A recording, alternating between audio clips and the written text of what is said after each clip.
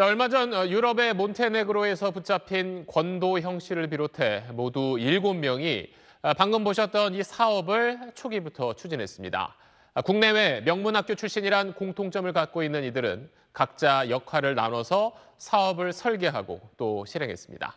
저희가 단독 취재한 이 내용 김덕현 기자가 정리해드리겠습니다. 테라 프로젝트 초기 구성원 7인방의 특징은 학연으로 얽힌 소위 엘리트 네트워크라는 점입니다.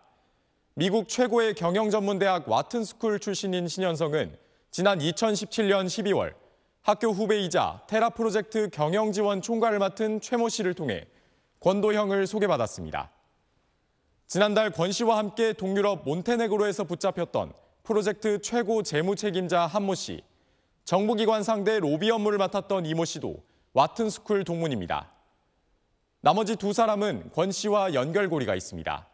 권 씨의 고교 1년 선배인 국내 가상화폐 거래소 출신 김모 씨는 사업 총괄을 맡아 프로젝트 전반을 지휘했고 권 씨와 미국 명문 스탠퍼드대 동문인 그리스인 A 씨는 블록체인 연구 개발을 주도하며 테라백서를 권 씨와 공동 작성했는데 지난해 권 씨의 행적을 쫓던 SBS 취재진과 마주치기도 했습니다.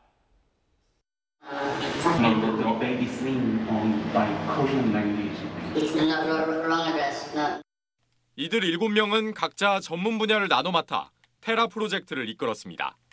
보슬 개발에 8천억 원대 자전 거래를 시도하거나 허위 또는 과장된 내용으로 대외 홍보에 나서는 등 테라 프로젝트의 허구성을 조직적, 체계적으로 철저히 숨긴 걸로 검찰은 판단하고 있습니다.